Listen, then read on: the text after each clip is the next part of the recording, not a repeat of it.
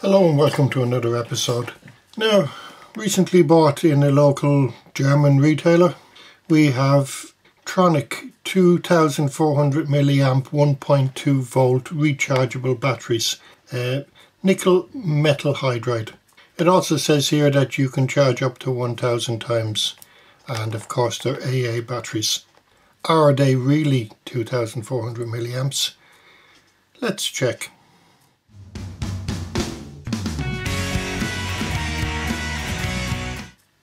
Right, I forgot to mention it also said they come pre-charged and ready to use. Well, let's just check it out. So we just move those to one side and just get the meter and we'll just check them down now. 1290 1290 1288 slightly off. 1295 so they're reading slightly different but what we do then is we'll just put them onto a charge and we'll charge them all up and then we'll do a discharge. So here we have my smart charger. Put them all in. Now unusual they did them all in different colors so if you, I suppose if you buy four sets then you can have them all in the same colour. We'll just stick it on there.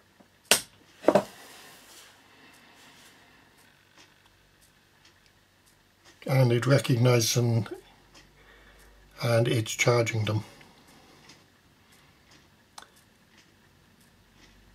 So we'll give that a moment to charge up fully. We'll test them again then let them settle for a small bit and then we'll discharge them and see if they are truly 2400 milliamps.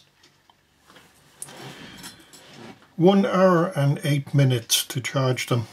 Now disregard this one here because I had upset the battery and it started to go through a cycle again. But if you noticed here, it this one here, the last one to charge, it took one minute and eight it charged to 1.48 volts.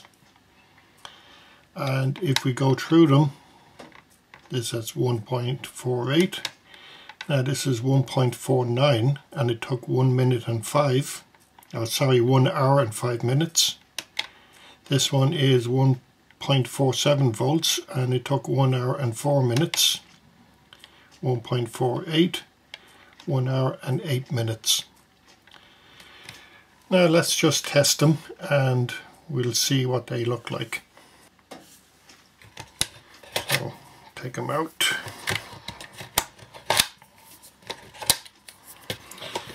They're warm to the hand. It's nice party colours.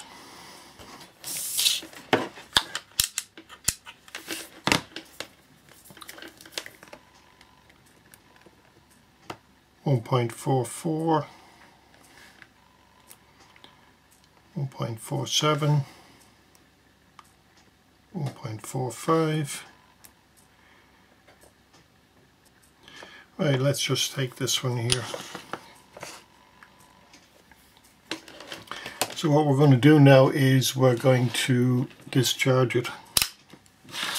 But for the moment we'll let it sit for about an hour so it will settle and then we'll discharge it. It's now one hour since it was charged and let's just test it again. And we have 1.436 you could call it 1.44 and now we'll discharge it.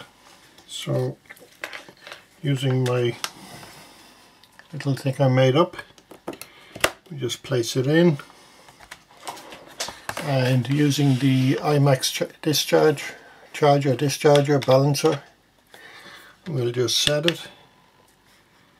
Set it for discharge. And I'm going to discharge it at 0.5 amp. And it's recommended that a rechargeable nickel metal hydride battery should not be discharged anything lower than 0.8 volt. And that's what we're going to do. So we'll discharge it and we'll see what happens. Now this take this may take some time. So again I'll probably speed this up or I'll just skip to when it's discharged. Exactly two hours later and discharging at 0.5 of an amp or 500 milliamps. It took exactly two hours and it's reading 1000 milliamps. So in effect the battery is really a 1000 milliamp battery. Now correct me if I'm wrong but your average household item flashlight camera whatever wouldn't be using much more than 500 milliamps so you may get a little bit more out of it or you may not. Well I hope you found this video useful. Maybe you decide whether you'll buy these or not or if they're good enough for what you want. They're about 5 euro to buy or the equivalent in your own currency. And if you enjoyed this video give us a thumbs up. Don't forget to like, share, subscribe and we'll see you again soon.